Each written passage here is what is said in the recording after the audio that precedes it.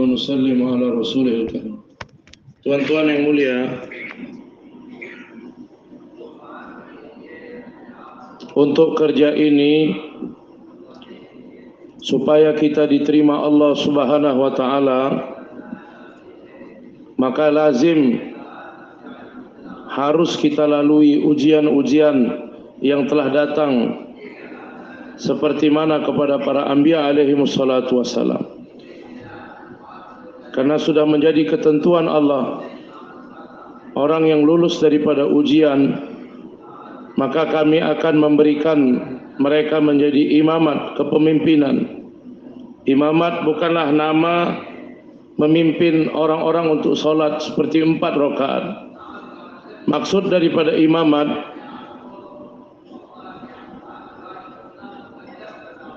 hendaknya kita menjadikan diri kita untuk patuh kepada perintah-perintah Allah Subhanahu wa taala sehingga orang-orang melihat kehidupan kita mendapatkan pelajaran taklim agama. Jadi maksud daripada imamat bukan hanya sekedar mengimami orang untuk solat empat rakaat. Tapi maksud imamat kehidupan seorang dai maka akan menjadi petunjuk kepada umat ini.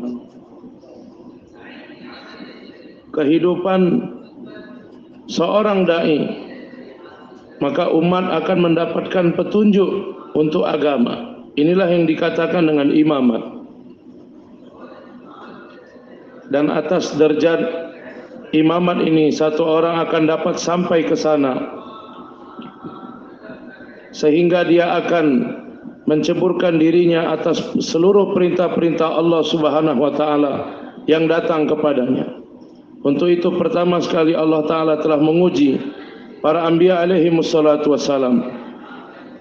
Dan ujian tersebut telah diberikan perintah kepada mereka yang mana untuk menyempurnakan perintah tersebut bertentangan dengan fitrah, bertentangan dengan semangat, bertentangan dengan suasana, bertentangan dengan keadaan.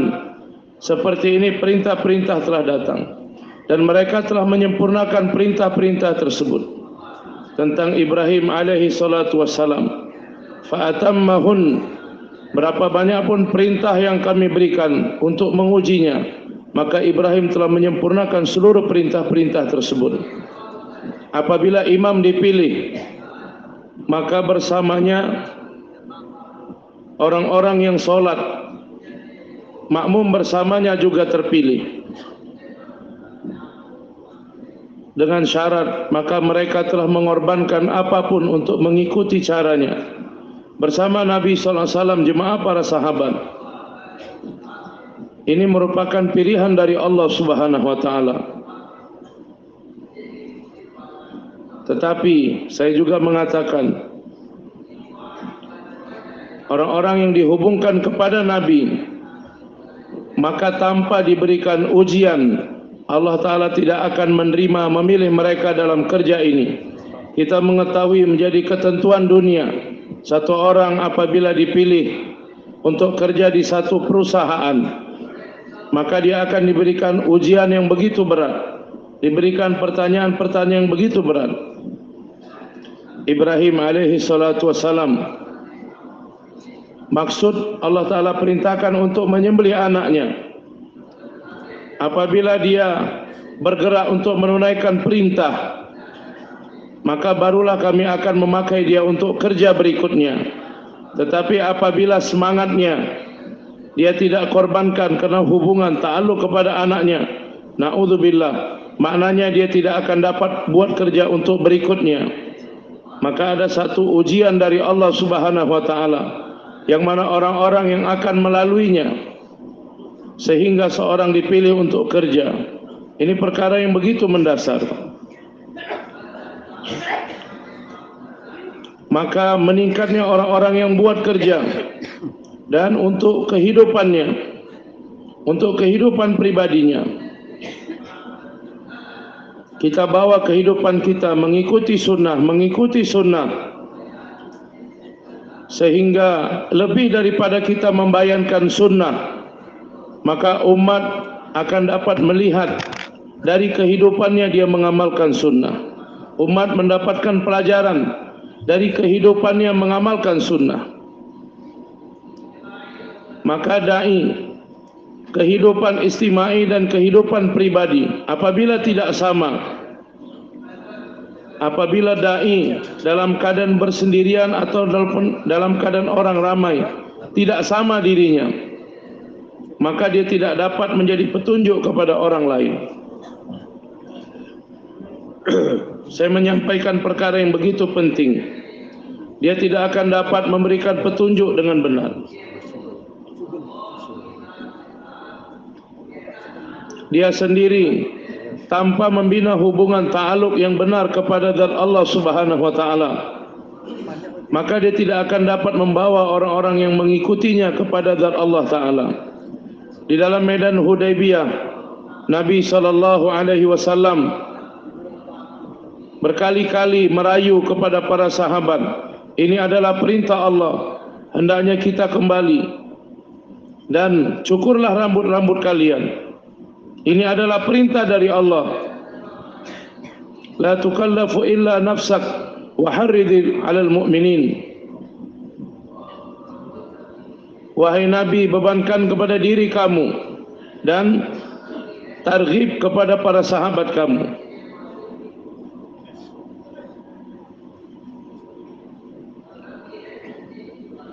Jadi kita sendiri menanggung kesusahan.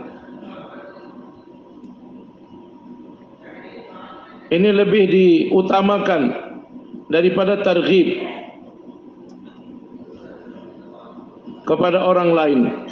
Untuk itu Nabi sallallahu alaihi wasallam dalam riwayat Nabi sallallahu alaihi wasallam dalam segala sesuatu maka nabi yang lebih awal di dalam ibadat nabi lebih maju. Di dalam keberanian nabi lebih maju, di dalam ibadat Nabi sallallahu lebih maju. Nabi mengatakan Sesungguhnya aku Bahkan Nabi lebih maju dalam penyakit sakit yang datang kepada beliau. Aku adalah di antara dua orang yang mana mendapatkan demam yang begitu sempurna, penyakit panas. Ini merupakan usul yang begitu mendasar kepada orang-orang yang buat kerja. Apabila kehidupan mereka apabila kehidupan mereka mirip atau mengikuti cara-cara kehidupan orang-orang awam. Maka bahagian kehidupan agama dari umat ini akan menjadi sia-sia pada bahagian tersebut. Jadi tanggung jawab bukan hanya untuk menunaikan tanggung jawab takaza dakwah saja tetapi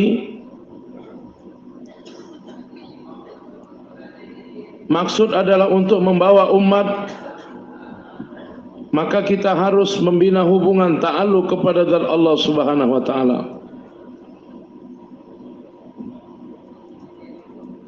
Maka saya menyampaikan perkara yang begitu penting atas perintah-perintah Allah Subhanahu wa taala. Bagaimana kita bawa masukkan ke dalam amla kita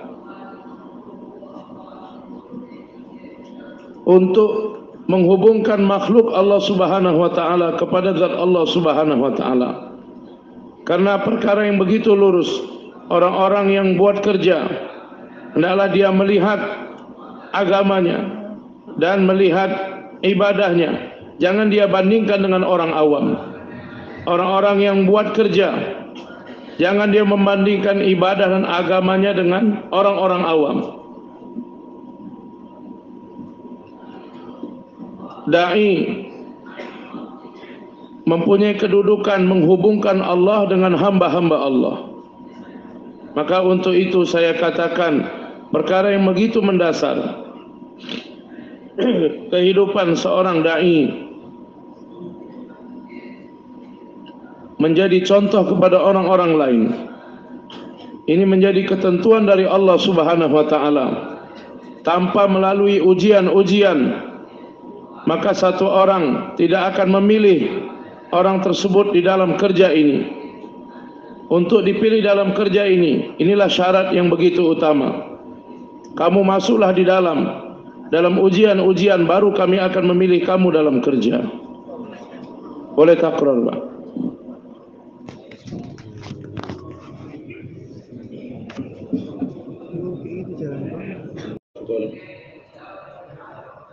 Kesimpulan daripada imtihan dan ibtila yaitu kita mengorbankan keinginan kita kepada keinginan Allah dan Rasulnya. Jadi seluruh ujian-ujian dan perintah-perintah maksud kehendak yang sebenarnya dan kesimpulannya hanyalah yaitu bagaimana kamu mengorbankan keinginan kamu untuk keinginan Allah Subhanahu wa taala. Tinggalkan keinginan kamu untuk datang kepada keinginan Allah dan Rasulnya.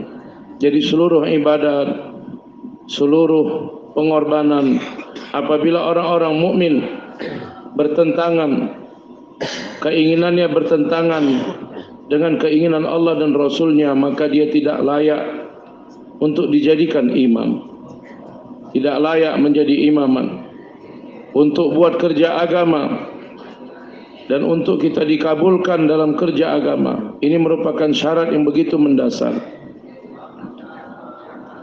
Bagaimana kamu mengorbankan keinginan kamu untuk menunaikan keinginan Allah maka berapa banyak pun perintah Allah Subhanahu wa taala.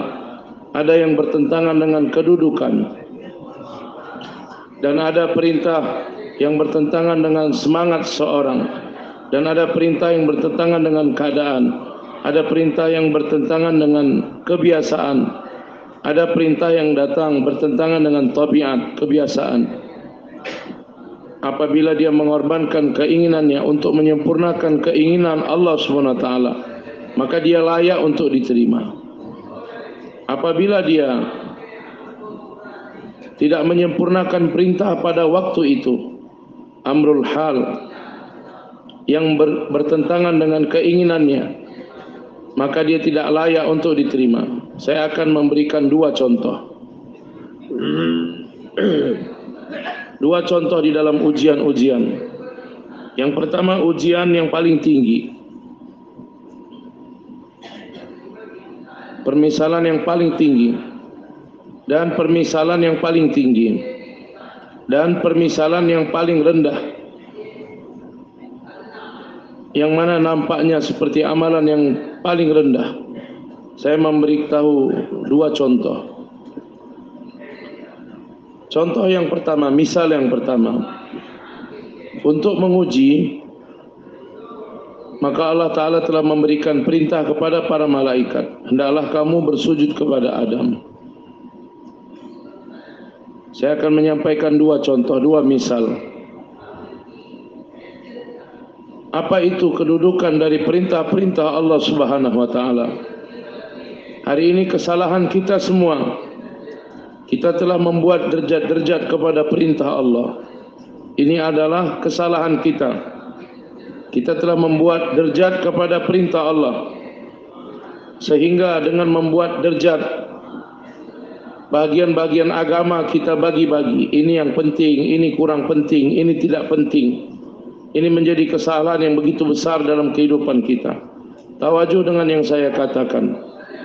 Saya akan memberitahu dua contoh. Yang mana maksudnya adalah kepentingan atas perintah Allah Subhanahu wa taala atas perintah Allah diberikan kepada malaikat untuk bersujud kepada Adam maka kepentingan yang sama juga.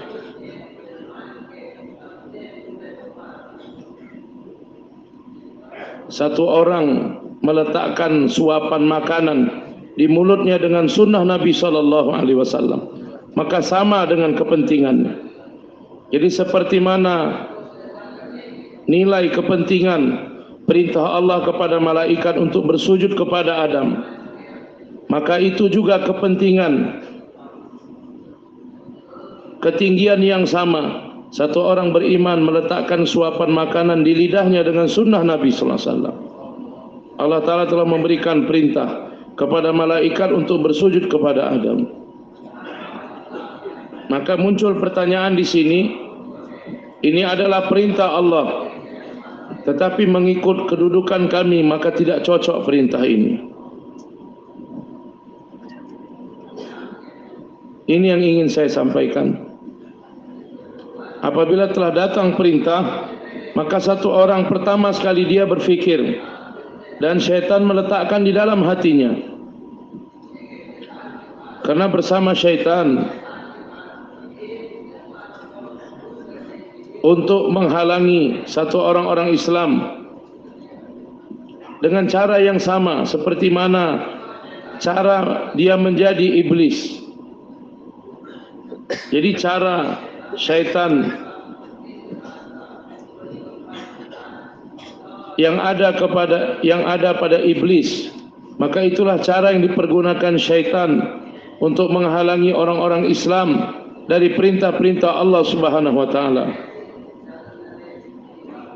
Apabila kedudukanku cocok untuk mengerjakan perintah maka akan dibuat. Tetapi kalau kedudukan perintah yang datang tidak cocok dengan kedudukanku maka akan ditinggalkan. Maka iblis telah membandingkan perintah Allah taala dengan kedudukannya.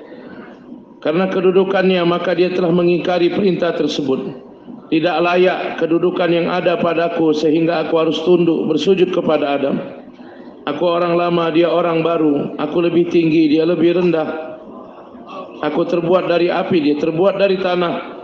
Maka Allah Subhanahu wa taala telah menghalangi, memahrumkan dia daripada ibadat yang mana sebelumnya dia telah membuatnya. Jadi bukanlah kalau ini tidak bisa dibuat ya sudah yang penting yang lain kan dibuat juga. Yang ini saja yang tidak dibuat. Ini pun tidak bisa seperti ini. Jadi di tengah-tengah malaikat dengan amal ibadat dia tidak mampu lagi untuk beribadat kepada Allah.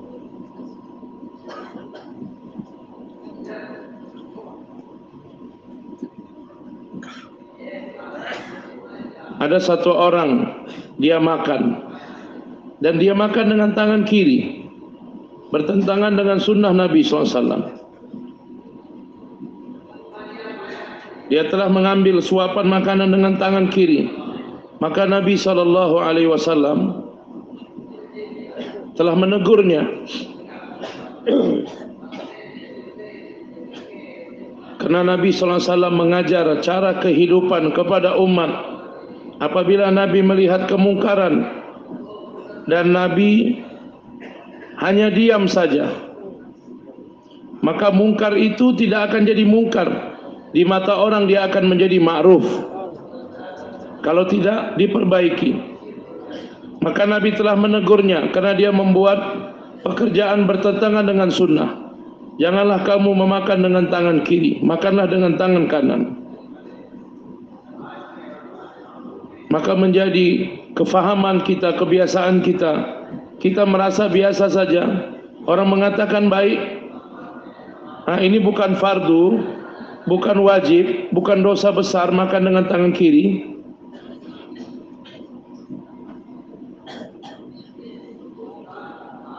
Tetapi ketika satu orang mengingkari perintah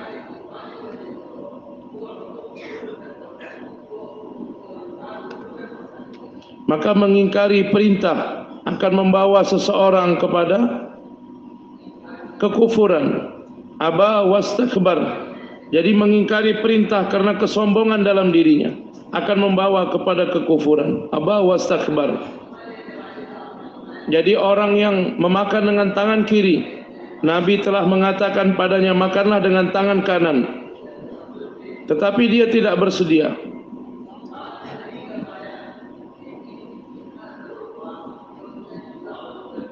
maka dia telah memberikan alasan uzur yang bohong. Ya Rasulullah tangan kananku sakit tidak dapat diangkat. Untuk itulah aku makan dengan tangan kiri. Tangan kananku lemah tidak dapat diangkat. Tawajuh dengan apa yang saya katakan. Allahu Akbar. Jadi mengingkari perintah yang begitu lemah, perintah yang begitu rendah, serendah-rendahnya perintah dengan memikirkan amal ini bukan fardu, bukan wajib, maka cukuplah satu orang itu akan terhalang dalam mengamalkannya. Maka dia telah mengambil makanan dengan tangan kiri. Nabi SAW telah dikabarkan tangan kanannya sehat, tidak ada masalah maka pengingkaran yang diberikannya adalah karena egonya, kesombongannya dan dia telah berbohong. Tangan kanannya tidak ada masalah. Tangan kanannya dalam keadaan sehat. Jadi uzurnya adalah uzur dusta. Maka Nabi telah mengatakan Allah Ta'ala akan menjadikan tangan kanan kamu tidak dapat diangkat lagi. Maka setelah itu tangan kanannya tidak dapat diangkat lagi ke arah mulutnya. Jadi seperti mana iblis untuk selama-lamanya telah terhalang daripada ibadat, maka begitu juga apabila satu orang mengingkari satu sunnah adat, satu perintah yang berhubungan dengan sunnah adat, maka kekuatan tangannya pun menjadi hilang. Jadi perintah-perintah yang datang adalah untuk ujian.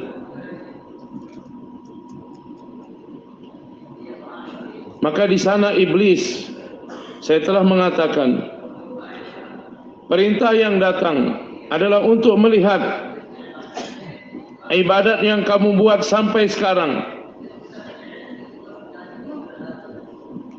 Ibadat tersebut membentuk kedudukan dalam hati kamu atau membuat kamu telah menghancurkan kedudukan tersebut. Maka terkadang datang perintah bertentangan dengan kedudukan datang perintah datang perintah datang bertentangan dengan kebiasaan. Tiba-tiba kami memberikan perintah untuk melihat apakah kamu menyempurnakan perintah. Maka telah datang perintah bertentangan dengan kebiasaan. Solat sebelumnya menghadap Baitul Maqdis. Tiba-tiba telah datang perintah ketika sedang solat zuhur. Maka ubah arah kiblat kamu dari Baitul Maqdis menuju Baitullah Maka ada tiga jenis orang Yang mana mereka telah mengingkari untuk taat. Satu orang kafir Yang kedua Yahudi Yang ketiga munafik. Dan perkara yang begitu ajib Orang-orang yang lemah imannya Waktu itu juga mereka telah murtad.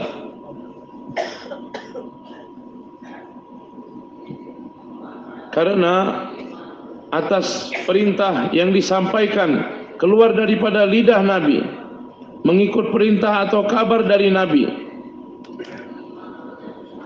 Maka yang keluar dari Nabi menjadi ujian kepada orang-orang beriman. Apakah itu berhubungan dengan kabar atau berhubungan dengan perintah? Nabi sallallahu alaihi wasallam memberikan kabar dalam safar mi'raj maka orang-orang yang iman lemah mereka menjadi murtad. Bagaimana bisa terjadi seperti ini? Dan Nabi wasallam dengan perintah Allah mengubah arah kiblat dari Baitul Maqdis menuju Baitullah maka orang-orang munafik telah menentang. Apa pentingnya mengubah arah kiblat dan Allah Taala ingin menguji ibadat yang telah kamu buat sejauh mana ketaatan telah terbentuk dalam diri kamu. Dan siapa yang taat kepada Nabi dan siapa yang tidak taat kepada Nabi. Mayyat tabi'ur rasul wa may wa mimma yanqalibu ala aqibai jadi permisalan ini saya berikan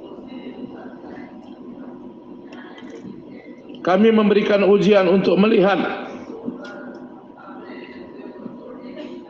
kamu punya kemampuan sudah terbentuk belum kemampuan untuk menunaikan perintah yang bertentangan dengan kebiasaan jadi bertentangan dengan kebiasaan apabila datang perintah meninggalkan kebiasaan untuk taat kepada perintah. Inilah ujian yang sebenarnya. Dan inilah kesempurnaan dari ketaatan. Maka untuk itu saya katakan, apabila perintah datang bertentangan dengan kebiasaan. Terkadang perintah datang bertentangan dengan semangat yang begitu baik dalam diri Nabi. Maka seluruh perintah adalah untuk ujian-ujian ini. Allah Ta'ala ingin melihat sejauh mana sifat ketaatan telah terbentuk dalam diri mereka. Dan orang yang terus menyempurnakan perintah dia akan terus maju, terus maju, terus maju. Untuk itu pertama sekali saya mengatakan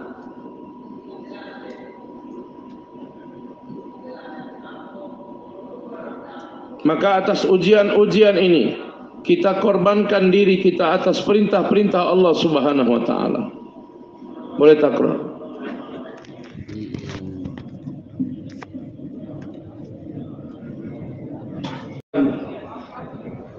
Ada dua perkara yang menyebabkan seseorang mengingkari perkara yang hak. Yang pertama kiber, membuat seseorang mengingkari yang hak. Kemudian yang kedua alasan yang begitu besar, yang mana di tengah-tengah kita begitu umum, yang membuat seseorang mengingkari yang hak dan menghalangi seseorang menerima hak. Dan ini penyakit yang begitu besar yaitu hasad, dengki. Hasad membuat seseorang tidak menerima yang hak bahkan apabila dikatakan dosa yang pertama di langit yaitu karena hasad dan pembunuhan yang pertama di dunia pun karena hasad. Ulama menulis seperti ini.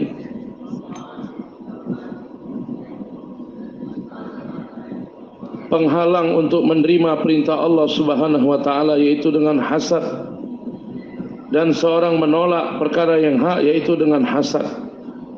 Begitu banyak orang-orang yang tidak beriman hanya karena mereka telah hasad. Ini adalah penyakit yang mana membuat seseorang tidak menerima perkara yang hak padahal dia mengetahui ini adalah hak. Iblis mengetahui perintah Allah adalah hak tetapi karena hasad dia telah mengingkari perintah tersebut.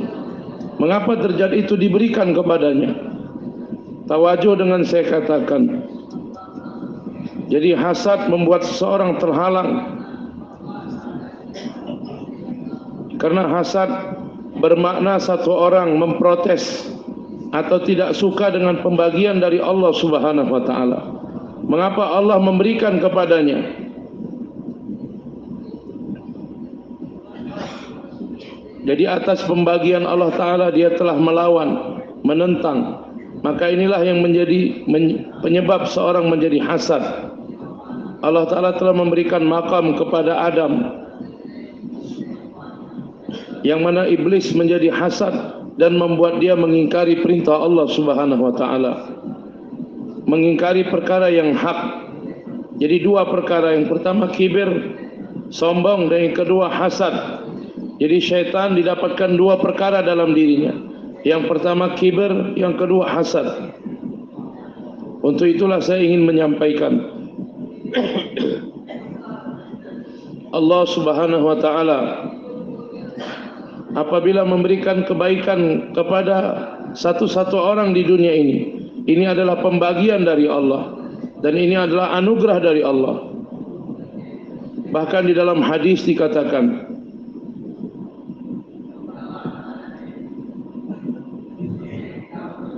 Allah Ta'ala telah memberikan Taurat kepada ahli kitab. Dari Fajar sampai Zuhur mereka telah membacanya. Dan mereka telah mengamalkan, mengamalkan, mengamalkan. Sehingga mereka menjadi letih, lemah Maka Allah Ta'ala telah memberikan pahala Satu khirat Kemudian Allah Ta'ala berikan Injil kepada ahli Injil Dari Zuhur sampai Asar mereka membacanya Dan mengamalkannya sehingga mereka menjadi lemah. Maka Allah memberikan pahala satu kirat. Kemudian Allah Taala berikan kepada umat Muhammad sallallahu alaihi wasallam diberikan Al-Qur'an. Mereka membaca waktu yang sebentar dari asar sampai maghrib. Hadis yang begitu ajib ini. Waktu yang begitu sebentar di antara asar dengan maghrib diberikan kepada umat ini. Mereka telah membacanya dan mengamalkannya. Maka Allah Ta'ala kepada umat Nabi SAW dalam waktu yang sebentar mengamalkannya. Maka diberikan dua kirat double daripada ahli kitab dan double dari ahli Injil. Dua kali lipat. Maka ahli kitab mengatakan kepada Allah, Ya Allah, mengapa engkau buat seperti ini? Dari fajar sampai zuhur kami telah mengamalkannya. Dari zuhur sampai asar kami mengamalkannya. Waktu yang begitu panjang. Waktu yang begitu lama. Dan umat Muhammad SAW hanya dari asar sampai maghrib. Waktu yang sebentar mereka membacanya dan mengamalkannya. Mengapa diberikan dua kirat?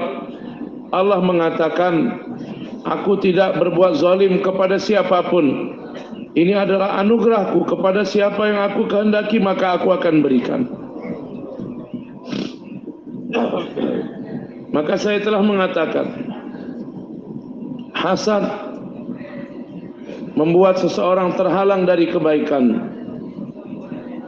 Jadi hasad mem memakan amal seseorang seperti mana api yang memakan kayu bakar. Mengapa? Saya memahami sebab terhalang dari perkara ini yaitu menentang pembagian dari Allah Subhanahu wa taala. Nabi sallallahu alaihi wasallam Nabi sallallahu alaihi wasallam untuk membentuk umat Nabi SAW untuk membentuk umat. Maka kerja yang pertama sekali dibuat oleh Nabi Yaitu di tengah-tengah mereka Orang-orang yang mempunyai sifat hasan Kepada bentuk-bentuk benda. Saya menyampaikan perkara yang penting. Jadi perkara yang membuat seseorang menjadi hasad Maka Nabi SAW membuat orang-orang menjadi benci kepada perkara tersebut. Apabila satu orang dia bangga kepada warna kulitnya, maka Nabi menghormati orang yang berkulit hitam. Satu orang bangga dengan ilmunya, maka Nabi menghormati orang yang bodoh. Orang bangga dengan Arabnya, maka Nabi SAW telah memajukan orang-orang yang bukan Arab. Jadi berapa banyak orang-orang yang menjadikan sesuatu menjadi hasad, maka Nabi SAW telah memotong semua asbab-asbab itu. Sehingga tidak akan ada hasad di antara para sahabat. Jadi ini perkara yang harus kita perhatikan. Nabi SAW telah membentuk umat, maka dalam membantu umat, Nabi SAW telah memajukan orang berkulit hitam, orang yang berbahasa berbeda, orang yang asing. Apabila kita membaca dalam riwayat,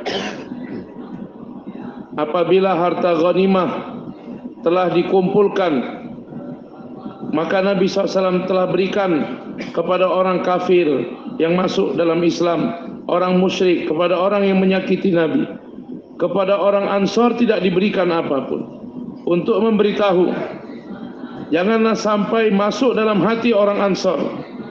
Jangan masuk dalam hati orang Ansar. Karena kecintaan kepada Nabi, maka kami lebih berhak mendapatkannya.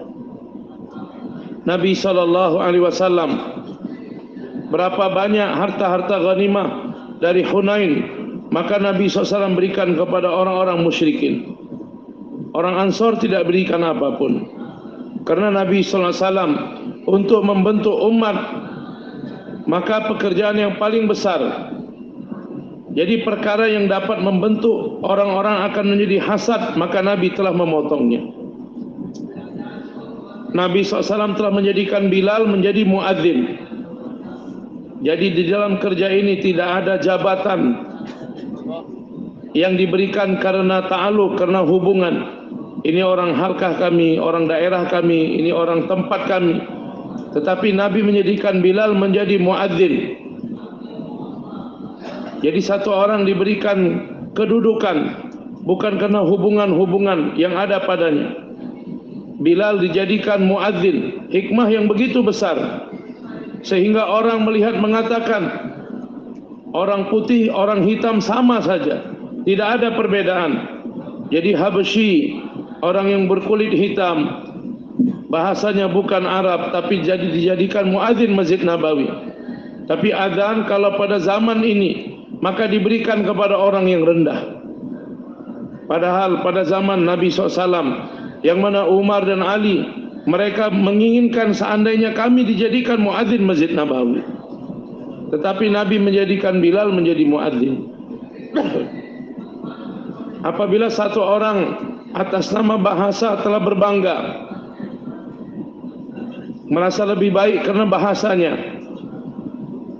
Maka dia telah memotong umat ini. Maka Nabi mengatakan tolaklah orang tersebut untuk masuk dalam neraka jahanam Qais bin Mutatiyah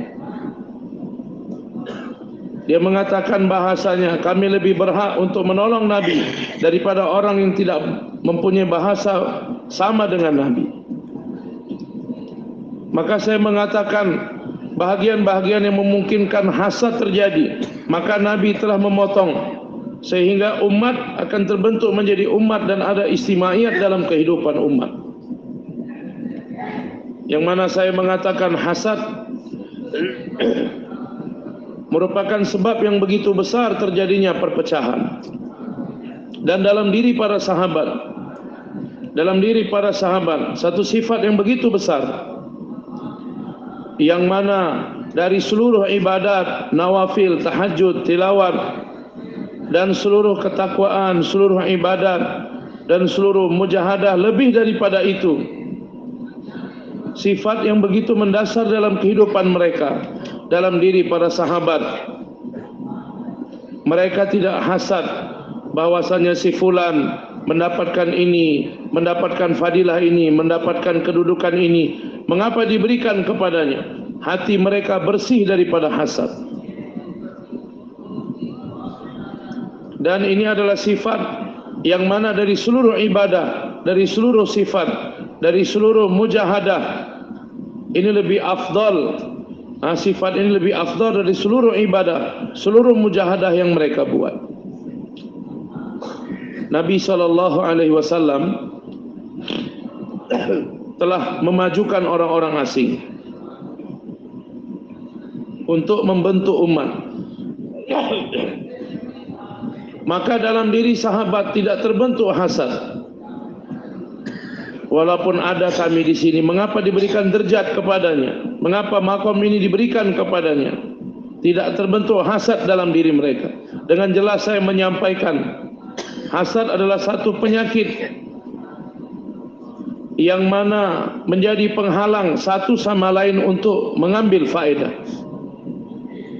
Maka ilmu yang datang dari Allah Subhanahu wa taala dan perkara-perkara yang hikmah kemudian harta jadi kepada siapa yang Allah kehendaki maka Allah taala akan berikan kepadanya orang yang hasad di dalam hatinya maka dia tidak akan dapat mengambil faedah dari perkara-perkara yang baik. Dan karena hasad dia menjadi penghalang untuk wujudnya kebaikan. Dan Allah taala akan menghalangi orang itu dari kebaikan. Karena hasad menentang kebaikan-kebaikan. Dan orang yang hasad dia tidak akan membantu orang lain kepada orang yang dihasatinya. Dia tidak akan menjadi muawin pembantu kepada orang lain dan kerja dakwah kerja agama dalam sebahagia dalam semua bahagian akan berjalan dengan ta'awun saling tolong menolong Jadi dunia Allah Ta'ala ciptakan untuk dihancurkan. Maka peningkatan dunia dengan persaingan. Tetapi untuk meningkatnya kerja agama dengan ta'awun. Dengan saling tolong menolong. Tetapi majunya dunia dengan takhabul, dengan persaingan, berlomba. Karena dunia akan dihancurkan Allah Subhanahu wa taala. Walaupun begitu banyak kesusahan, kesulitan, dan begitu banyaknya tantangan maka untuk meningkatkan kerja agama yaitu hanya dengan ta'awun saling tolong menolong saling tolong menolong satu sama lain. Peningkatan dunia dengan takabul bersaing.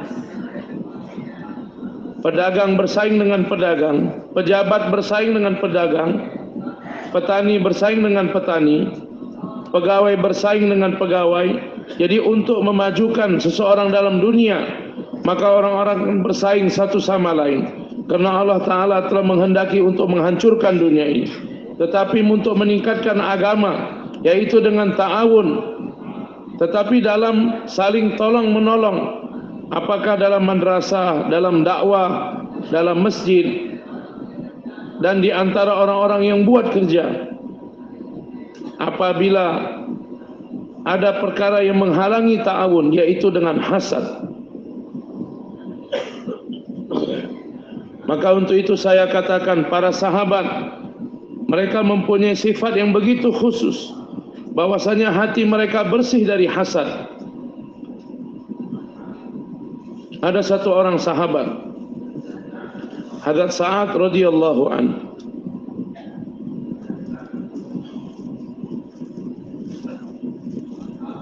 Nabi telah mengatakan duduk bersama sahabat yang lain Sekarang tidak lama lagi satu orang ahli surga akan lewat. Maka dari depan Sa'ad radhiyallahu an.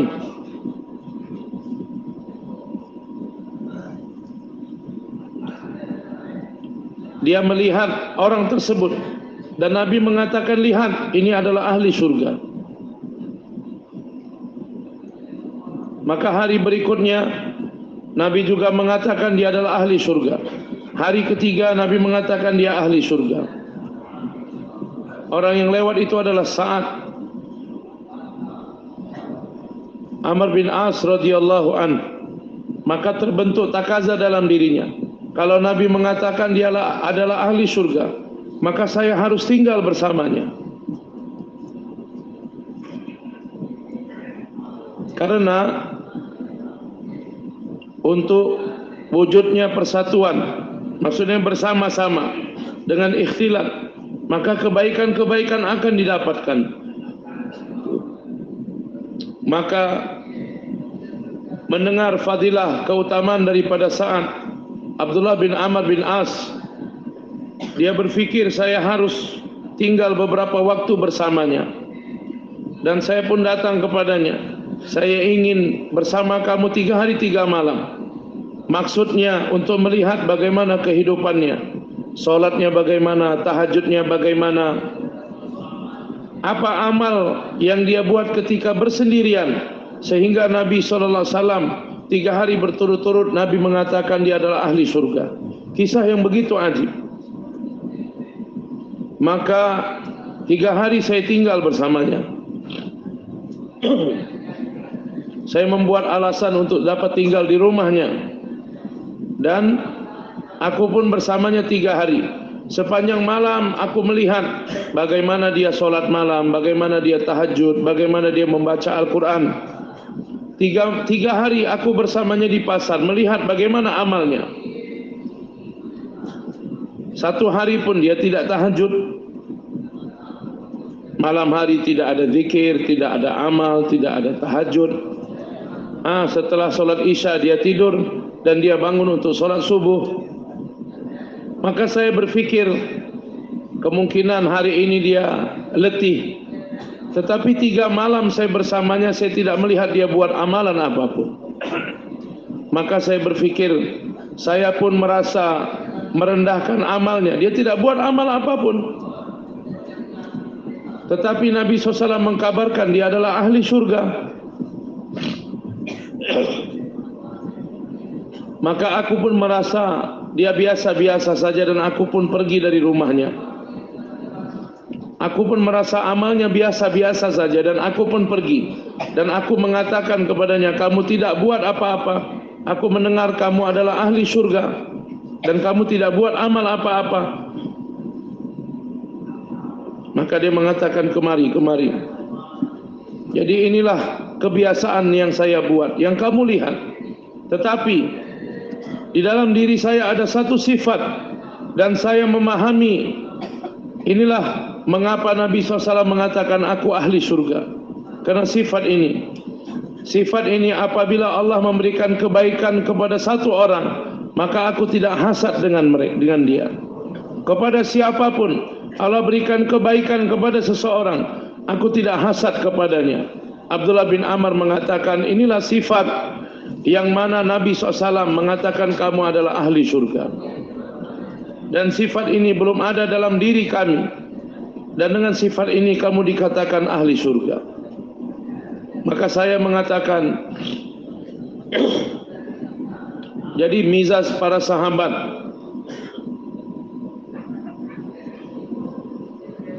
Jadi apabila diberikan kebaikan pada satu-satu orang, maka mereka suka tinggal dengan orang tersebut. Ada satu kesempatan yang mana Nabi SAW mendapatkan dan mengeluarkan pedang Yamani. Pedang yang begitu baik sekali. Pedang yang begitu berharga. Nabi mengatakan siapa yang akan mengambil pedang ini. Dalam riwayat dikatakan Umar telah berdiri.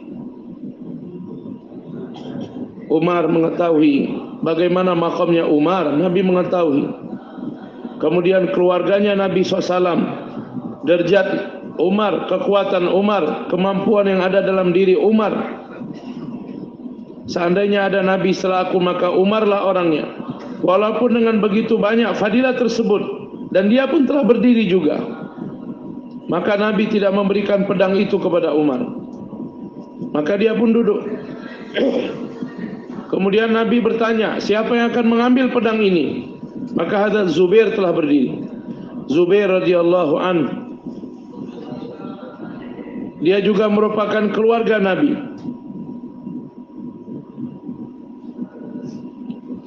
Dia berdiri, berikan padaku. Nabi tidak berikan, duduklah. Kemudian iklan yang ketiga, iklannya begitu keras. Nabi mengatakan, siapa yang akan mengambil pedang ini dan dapat menunaikan haknya.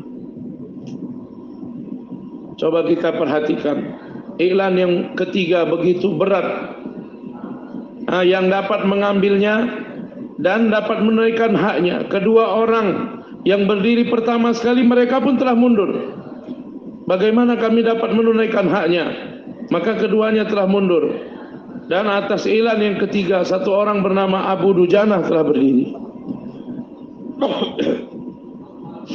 Abu Dujana dibandingkan dengan dua sahabat, dia ini adalah sahabat yang baru. Masih kecil, lebih kecil kedudukannya. Tetapi Nabi memberikan pedang Yamani kepada Abu Dujana. Padahal Umar pertama berdiri Zubair yang kedua berdiri tetapi pedang diberikan kepada Abu Dujana. Dalam riwayat dikatakan Abu Dujana telah membawa pedang ini dan masuk dalam medan pertempuran dan bertanya kepada Nabi apa hak daripada pedang ini? Hanya yaitu supaya kamu jangan terkena pedang ini kepada orang-orang Islam. Pergunakan untuk kepada orang-orang kafir. Maka Zubair radhiyallahu anhu dia tidak mundur begitu saja. Apabila Nabi SAW memberikan pedang kepada Abu Dujana, aku tidak akan bersama dia. Karena tidak diberikan pedang aku tidak akan buat kerja bersama dia. Atau tidak jadi keluar di rumah saja. Jadi para sahabat apabila mendengar fadilah sahabat yang lain Maka mereka mau bersama sahabat tersebut. Bahwasanya Allah telah memilih dia dalam kerja. Aku pun ingin bersama dia supaya dipilih juga dalam kerja. Maka Zubair radhiyallahu anhu dalam riwayat Maka dia mengikuti di belakang-belakang Abu Dujana dan berangkat ke medan pertempuran melihat bagaimana dalam riwayat dikatakan dia telah membunuh begitu banyak orang-orang musyrikin dengan pedang tersebut. Hazrat Zubair radhiyallahu anhu melihat kerja yang dibuat Abu Dujana, maka dia mengatakan Allah wa rasuluhu a'lam.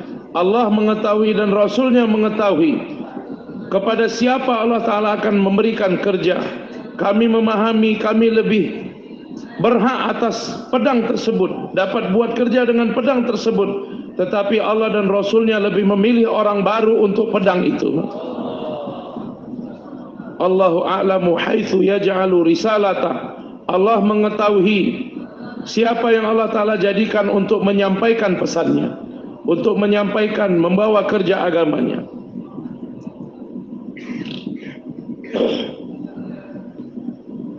Apabila di medan pertempuran apabila satu orang dipilih dalam kerja maka hendaknya kita bersama dia membantu dia.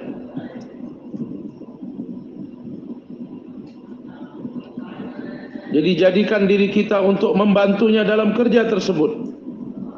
Maka Allah Subhanahu wa taala kebaikan-kebaikan yang Allah taala berikan kepada satu orang tersebut maka dengan bersamanya Allah Ta'ala juga akan bentuk kebaikan-kebaikan itu dalam diri kita. Jadi dua kisah saya sampaikan. kisah Sa'ad radhiyallahu an yang mana hatinya bersih dari hasad. Kemudian yang kedua, Hadat Zubair radhiyallahu anhu. Dia bersama-sama dengan Abu Dujana. Bergerak bersama Abu Dujana untuk melihat walaupun ada kami mengapa kerja diberikan kepadanya. Mengapa pedang diberikan kepadanya? Boleh tak Quran Pak?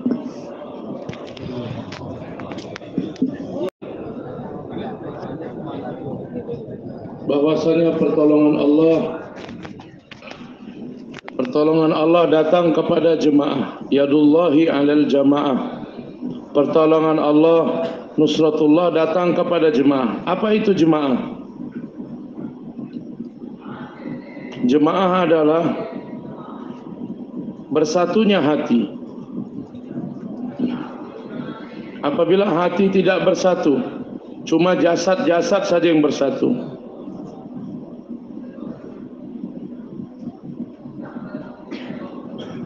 Tahsabuhum jami'aw wa qulubuhum syatta tentang orang-orang batil. Janganlah kamu susah dengan bersatunya mereka. Jadi tidak ada bahaya dari mereka. Karena hati mereka tidak bersatu. Dengan jelas saya katakan, apabila orang-orang Islam jasad mereka bersatu tapi hati mereka tidak bersatu, maka batil juga tidak akan takut dengan orang-orang Islam. Jadi seperti mana berita gembira kepada orang-orang Islam. Batil walaupun jasad mereka bersatu tapi kalau hati tidak bersatu maka tidak ada bahaya dari mereka. Maulana Yusuf mengatakan salat puasa zikir tilawat kamu sampai ke aras tapi kamu tidak bersatu tidak ada persatuan hati maka tidak datang pertolongan dari Allah. Walaupun hati kamu bersatu walaupun ada kelemahan melanggar tertib. Dan saya mengatakan walaupun berbuat salah juga tetapi kalau satu hati maka pertolongan Allah akan datang. Maka dari awal saya mengatakan dua perkara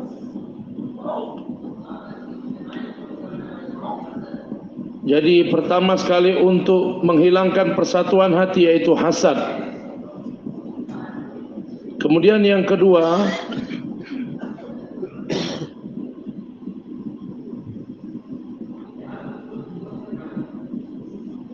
yaitu memaksakan mizaj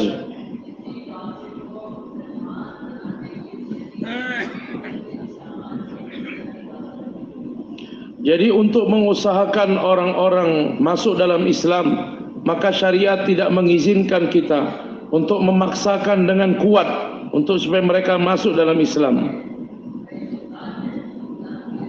jadi taklim dalam Islam mizaz dalam Islam. Jadi tidak dibolehkan pemaksaan. Dikatakan kepada Fir'aun, berbicaralah dengan lemah lembut. Apakah kamu mau suci? Tidak dikatakan, jadilah kamu suci, masuklah dalam Islam. Tidak.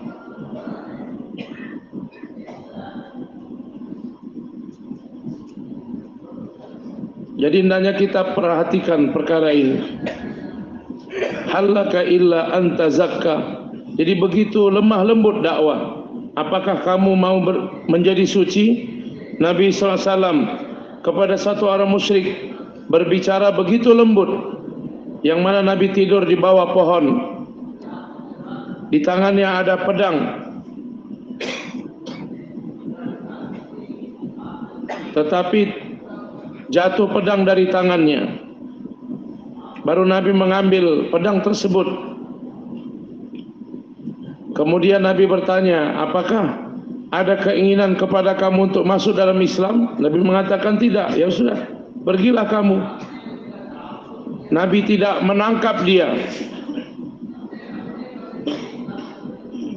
Karena dia telah berusaha untuk membunuh Nabi. Dia telah berusaha untuk membunuh Nabi. Nabi tidak mengatakan masuklah Islam. Kalau tidak, ini ada pedang. Tidak seperti itu. Dalam syariat, untuk memasukkan orang kafir dalam Islam, tidak dibolehkan juga dengan pemaksaan. Lantas bagaimana kita membawa orang Islam kepada amalan-amalan Islam diizinkan kita untuk memaksanya? Hah? Satu orang kafir kita menginginkan dia untuk membawa kepada Islam. Kita memberikan musyawarah kepadanya, memberikan usulan kepadanya, memberikan targib kepadanya. Halaka illa anta zakka. Yang mana dia mendakwa dirinya sebagai Rabb. Apakah kamu mau menjadi suci? La ikraha fid din.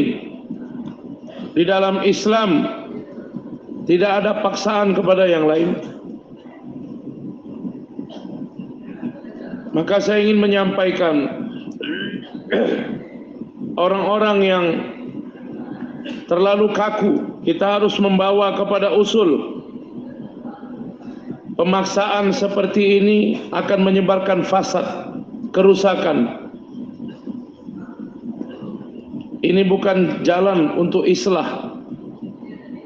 Karena diberikan perintah kepada Nabi, hendaklah kamu bersikap lemah lembut kepada orang-orang beriman. Janahaka lil mu'minin.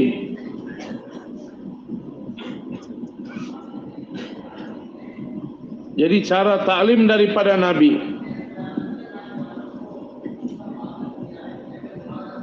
ditetapkan sampai hari kiamat apabila cara kamu yaitu taklim, tarbiyat seperti mana cara yang telah dibuat oleh Nabi. Satu orang telah buang air kecil di masjid Nabi dan dia telah dan dia buang air kecil. Telah berbuat kesalahan. Sengaja. Dan begitu banyak sahabat juga mereka telah berbuat kesalahan dengan sengaja. Satu orang Islam telah berbuat kesalahan dengan sengaja. Satu orang Islam berbuat kesalahan dengan sengaja, memaafkannya dan memberikan taklim dengan baik. Inilah caranya para nabi.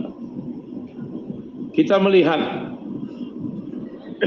dia telah membuang air kecil di dalam masjid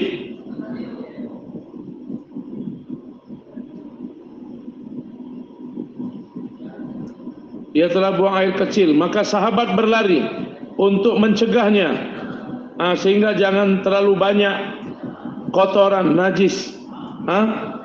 sisanya dia akan dapat buang di luar masjid Nabi tidak berfikir masjid akan menjadi tidak suci tetapi Nabi berfikir kalau di sekarang dicegah maka dia akan kesusahan karena berhenti dari buang air kecilnya apabila satu makam satu orang Islam lebih tinggi dari Baitullah. Jadi bagaimana satu masjid lebih afdal daripada satu orang Islam? Ha? Satu orang Islam derjatnya lebih tinggi daripada Baitullah. Lantas bagaimana satu masjid? Ha? Nilainya lebih dari satu orang Islam. Nabi katakan biarkan dia selesaikan kerjanya maka dia telah menyempurnakan buang air kecilnya di masjid.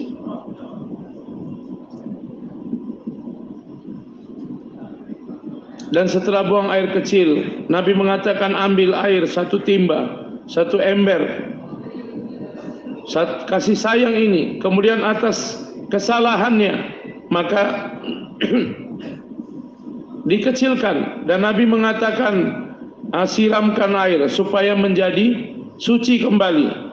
Dan Nabi mengatakan masjid bukanlah tempat untuk buang air kecil adalah untuk solat, zikir, tilawat, untuk amalan masjid bukan untuk buang air kecil. Maka cara tarikah, cara tarikah taklim yang diberikan, yang dilihat dari Nabi maka dia telah kembali ke kaumnya dan dia telah beritahukan kepada semua kaumnya. Nabi tidak mencaciku, tidak memukulku, tidak memarahiku. Akan terjadi orang-orang melanggar usul tertib. Tetapi kalau kamu keluarkan orang yang melanggar usul, diberikan hukuman pada orang yang melanggar usul, bersifat keras kepada orang yang melanggar usul tertib, kita tidak akan dapatkan sirah seperti ini. Jadi ketika satu orang berbuat kesalahan, tanggung jawab kamu hanya tazkir, memberikan, mengingati dia.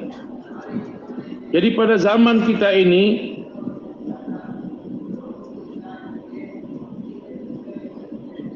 lebih daripada kita mengingatkan atas kesalahan yang dibuat orang, maka lebih banyak kita menceritakan orang-orang yang tidak orang-orang yang tidak tertib si fulan tidak tertib seperti ini, si fulan tidak tertib seperti ini. Maka di sini ada dua dosa besar. Yang pertama dosa ghibah, yang kedua meremehkan orang Islam. Apabila kamu ingin menghancurkan kebatilan, maka jangan mencerita-ceritakannya.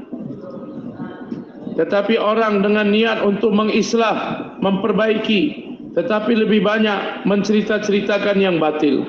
Padahal kebiasaan Nabi SAW, apabila ada orang yang berbuat salah, maka Nabi tidak memberikan isyarat pun ah, bahwasanya si fulan telah berbuat kesalahan.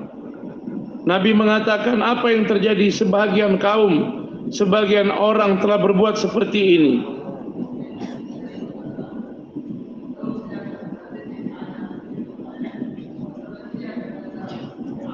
Sebahagian orang karena kesalahannya mereka tidak duduk di dalam majlis Nabi. Tetapi ada orang yang memberitakan hari ini Nabi mengatakan sebahagian orang telah berbuat seperti ini. Maka dengan isyarat Nabi seperti ini, orang itu merasa apa yang dikatakan Nabi adalah untuk saya. Inilah cara tarbiyah. Apa yang terjadi pada satu kaum? Sebagian orang jadi seperti ini satu isyarat sudah cukup untuk islah orang tersebut.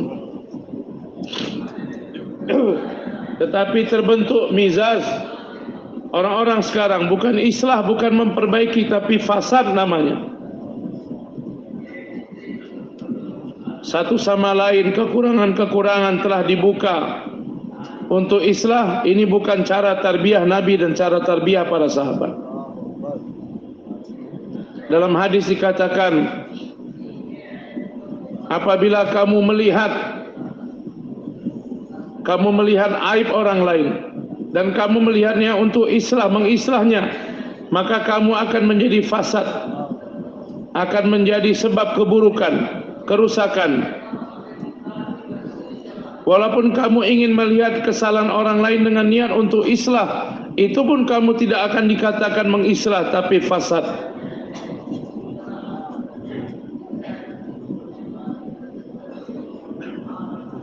Jadi orang yang islah itu apabila dia melihat dosa, keburukan orang lain maka dia akan tutup matanya. Seperti mana ada orang yang tidur, tiba-tiba terbuka auratnya, langsung kita tutup mata kita.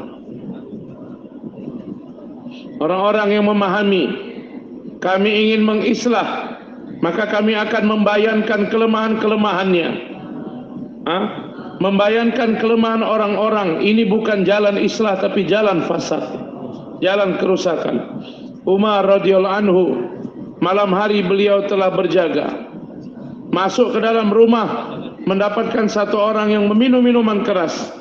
Maka dia mengatakan, ada tiga kesalahan kamu, hai Umar. Saya mengerjakan satu kesalahan, kamu tiga kesalahan. Kamu telah masuk ke rumah saya melewati dinding, lompat dinding tidak dari pintu.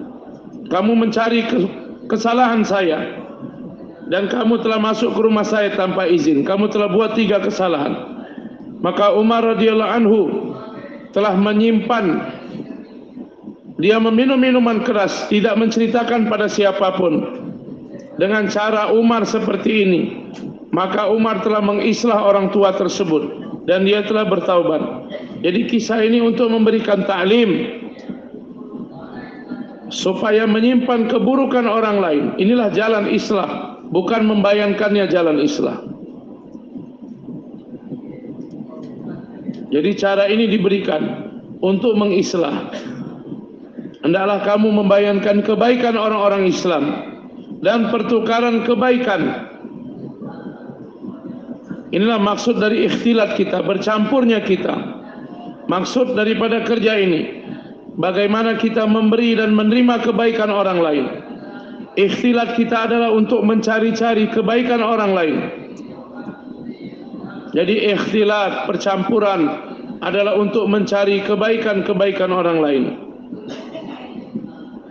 apabila kamu berikhtilat untuk mencari keburukan orang lain maka akan terjadi perpecahan jadi ikhtilat adalah untuk memindahkan kebaikan-kebaikan maka aib kamu akan menjadi suci dan kebaikan orang lain datang dalam diri kamu. Nabi sallallahu alaihi wasallam alal i'lan telah mencari kebaikan satu orang yang buruk.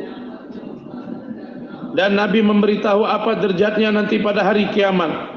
Nabi telah memberitahu yang mana satu orang dianggap rendah dianggap fasik karena dosa yang dia buat satu jenazah telah dibawa ke hadapan Nabi dikatakan pada Nabi wahai Rasulullah ini jenazah maka solatkanlah Umar radhiyallahu anhu telah melarang Nabi untuk mensolatkannya. Ya Rasulullah ini bukan orang baik. Kami tidak menyukai engkau mensolatkan jenazahnya.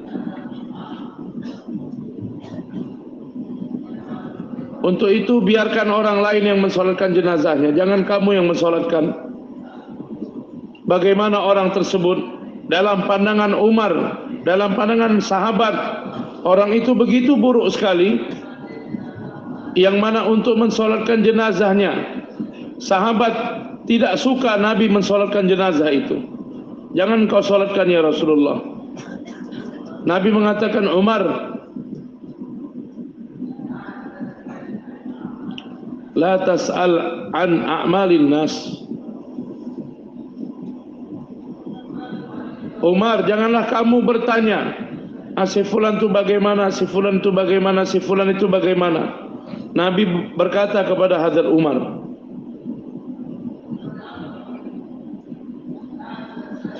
La tas'al an a'malin nas.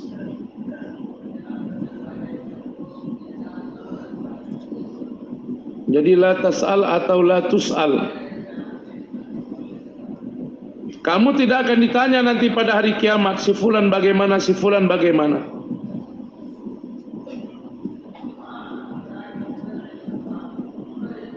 Tetapi kamu dapat bertanya, jenazah ini orang Islam atau bukan orang Islam?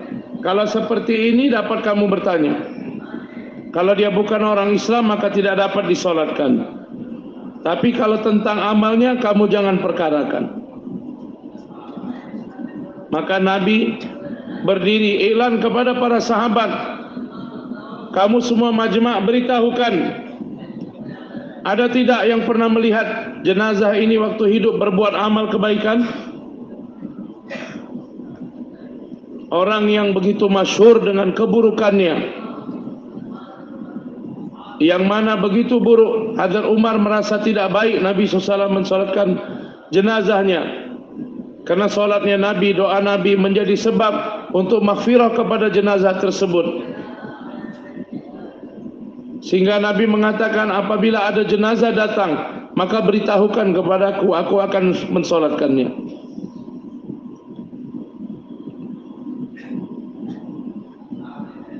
Nabi memberikan iklan pada sahabat, ada tidak di antara kamu yang pernah melihat jenazah ini membuat kebaikan? Ada satu orang berdiri di majma' ya Rasulullah. Orang yang meninggal ini satu kali saja dia telah menjaga satu jemaah ketika berada di jalan Allah pada malam hari. Nabi mengatakan mata yang dipergunakan untuk menjaga jemaah keluar di jalan Allah, maka mata itu tidak akan melihat api nerakanya Allah.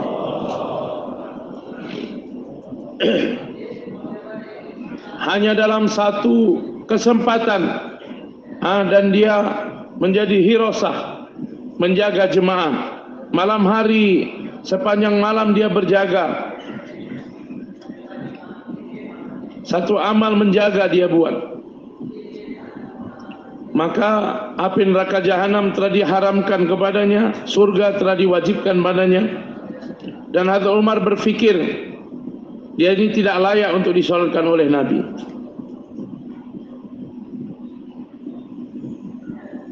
Maka saya mengatakan, carilah kebaikan-kebaikan.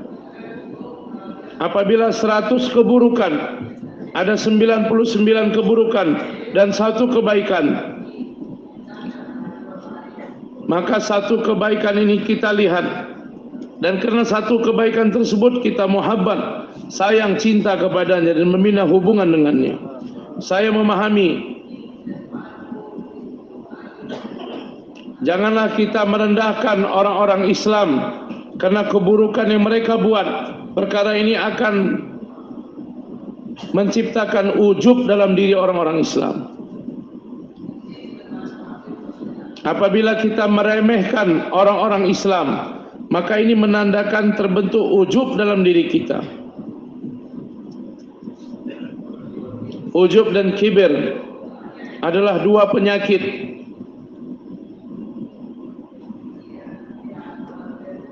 Yang mana orang akan termahrum dari kebaikan. Makanya dikatakan inilah perintah yang pertama. Hendaklah engkau berlaku lemah lembut dan bermudakarah tentang usul jadi harusnya begini harusnya begini harusnya begini jadi bukan sebaliknya, tidak boleh begini, tidak boleh begini, tidak boleh begini, bukan seperti ini. Jadi saya katakan amar bil ma'ruf masuk di dalamnya nahi anil mungkar. Karena ma'rufat kebaikan mempunyai kekuatan untuk mencegah dari kemungkaran. Jadi kalau satu orang kita bawa untuk solat, maka solat akan mencegah dia dari kemungkaran. Tapi begitu banyak syariat tidak mengizinkan Syariat tidak mengizinkan untuk mencegah kemungkaran. Ada kesempatan-kesempatan. Tetapi amar bil ma'ruf tidak ada syaratnya. Sebahagian keadaan Nafsu kita Nafsu kita menginginkan untuk mencegah seseorang dari kemungkaran Padahal kemungkaran lebih besar dalam diri kita sendiri. Dalam riwayat dikatakan akan ada orang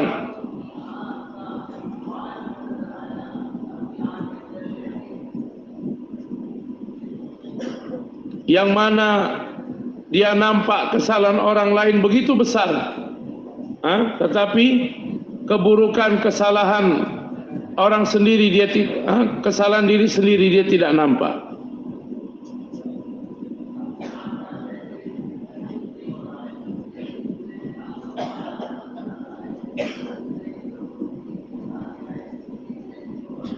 Jadi orang yang melihat aib orang lain tetapi dia lupa dengan keadaan dirinya sendiri. Dibayangkan hadis atas perkara ini. Maka saya telah mengatakan inilah mizaz daripada kerja ini. Kita bayangkan kebaikan-kebaikan saudara kita. Karena Nabi sallallahu alaihi wasallam selalu Orang yang mengaku bersalah pun Nabi takwil dengan kebaikan. Satu orang datang mengatakan telah berzina. Mungkin kamu hanya menciumnya saja. Dia mengatakan tidak, saya telah berzina. Kamu mungkin hanya memegang tangannya saja, kamu tidak berzina. Berkali-kali Nabi menafikan pengakuannya. Kenapa satu orang Islam untuk membuktikan dia berzina itu bukan kerjanya orang Islam, tetapi kerja orang Islam untuk membuktikan dia itu tidak berzina. Jadi untuk terbentuknya istimaiyat, saya telah menyampaikan beberapa perkara. Jangan berhasad dan jangan keras memaksa dan jangan menceritakan kelemahan-kelemahan keburukan maka dengan perkara ini istimaiyat akan terbentuk dan dengan istimaiyat akan datang pertolongan dari Allah taala boleh takrar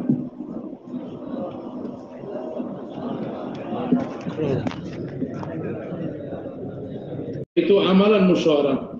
Apabila kita memperhatikan seluruh musyawarah dengan sifat salat adab cara yang diberitahukan di dalam salat maka seperti itu juga yang diberitahukan di dalam musyawarah.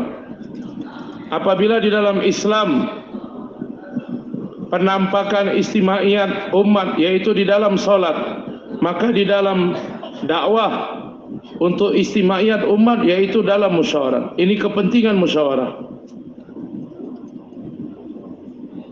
makanya dikatakan seperti mana kamu menjaga solat, meninggalkan seluruh takaza-takaza untuk datang kepada solat, maka begitu juga dengan takaza musyawarah, kamu tinggalkan seluruh perkara untuk datang pada musyawarah. Orang-orang yang karena takaza pribadinya, dia meninggalkan musyawarah, maka saya katakan, kerugian meninggalkan musyawarah lebih besar daripada kerugian meninggalkan jaulah. Lebih besar dari kerugian meninggalkan taklim karena musyawarah adalah amal untuk membentuk fikir kepada kerja. Dengan jelas saya katakan naudzubillah satu orang meninggalkan solat orang yang meninggalkan solat tidak ada bahagian dalam Islam. Perkataan Umar. Umar telah ditombak. Kemudian Umar menjadi pingsan. Apabila diberitahu solat maka Umar menjadi sadar. Dan terakhir beliau mengatakan tidak ada bahagian dalam Islam bagi orang yang meninggalkan solat. Dan saya mengatakan meninggalkan musyawarah maka menjadi tanda tidak ada fikir kepada kerja sehingga seluruh amal akan menjadi hilang karena orang-orang tidak ikut di dalam amal fikir amal musyawarah bagaimana dia akan peduli dengan amal-amal yang lain.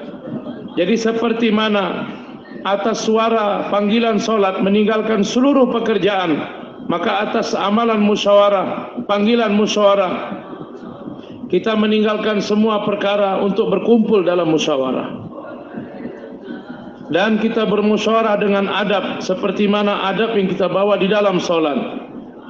Di dalam solat ada imam, maka di dalam musyawarah ada amir apabila kita solat tanpa imam maka bukan solat berjemaah lazim solat berjemaah adanya imam maka dalam jemaah ada amir tanpa amir maka bukan jemaah tanpa imam bukan solat berjemaah maka diberikan perintah kepada nabi wasyawirhum fil amr hendaklah kamu bermusyawarah dengan mereka Nabi SAW mengambil usul dari sahabat berkali-kali, berkali-kali, berkali-kali Nabi mengambil usul sehingga orang-orang Ansor tidak memberikan usul. Nabi terus mengambil usul. Orang Muhajir memberikan usul. Belakangan orang Ansor memahami Nabi menunggu usulan kami. Maka sahabat mengatakan tidak ada orang yang lebih sering bertanya kepada kami kecuali Nabi sallallahu alaihi wasallam mengambil usul. Padahal Allah dan Rasulnya tidak perlu kepada musyawarah tidak berhajat kepada musyawarah. Allah adalah alimul ghaib fa'alul lima ghaib fa'alul lima yurid dan Nabi mempunyai ta'aluk dengan Allah Ta'ala datang wahyu. Nabi tidak perlu bermusyawarah juga. Tetapi Allah perintahkan Nabi untuk bermusyawarah dengan sahabat. apabila kamu masih dalam musyawarah kamu masih berada dalam kebaikan. Maka diberitahukan adab dan tarikah bermusyawarah. Jadi berikan usul dalam musyawarah yaitu kamu memberikan usul dengan rasa takut. Seperti mana kamu membetulkan imam yang salah dalam solat. Jadi kepentingan solat musyawarah di dalam kerja ini seperti mana kepentingan solat di dalam agama.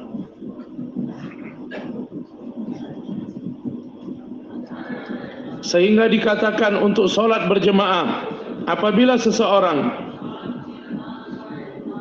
tidak menjaga solat berjemaah. Tetapi dia menjaga solat tidak meninggalkan solat. Tetapi dia tidak datang ke masjid. Maka ditanya kepada Abdullah bin Mas'ud apa yang kamu katakan tentang orang itu? Dia menjaga solat tetapi tidak datang ke masjid. Maka Abdullah bin Mas'ud mengatakan orang itu ahli jahannam.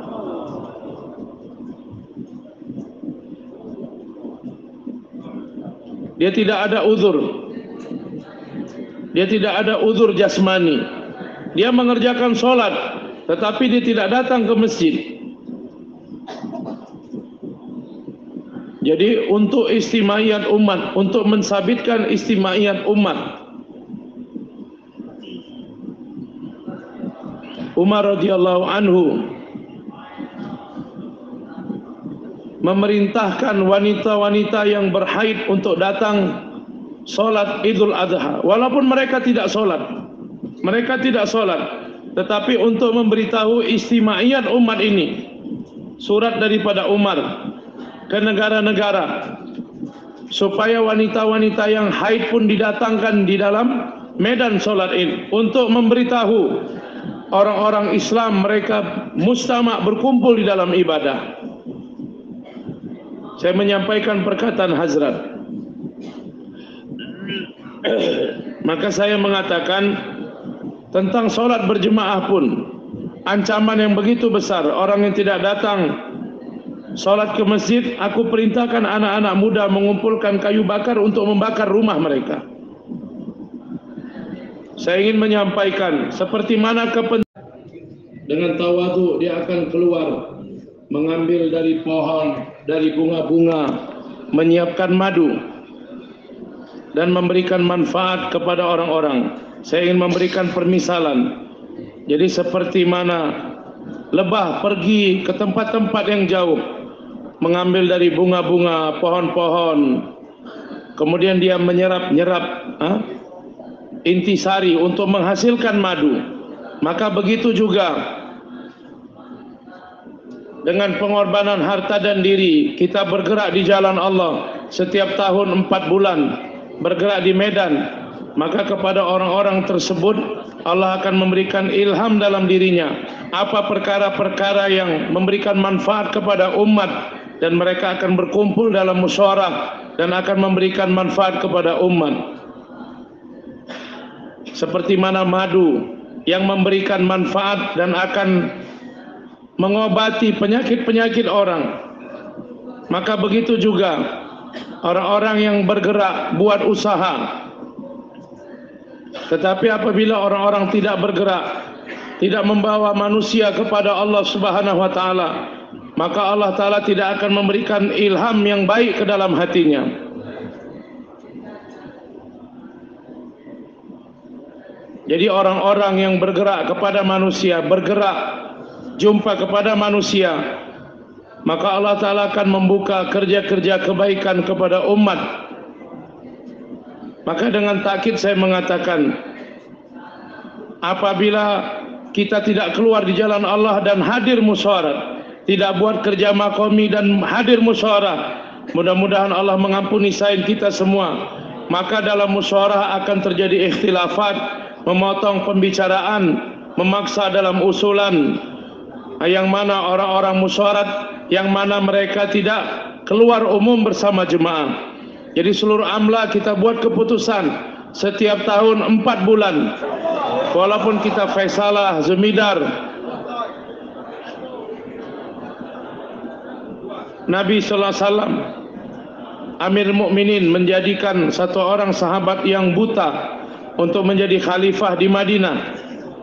Maka untuk itu saya katakan setiap orang-orang lama buat azam walaupun saya mempunyai tanggung jawab yang begitu banyak saya akan luangkan waktu untuk keluar empat bulan setiap tahun sehingga kita berada di umum dan bergerak di orang-orang awam sehingga saya akan mengetahui apa keperluan orang-orang awam.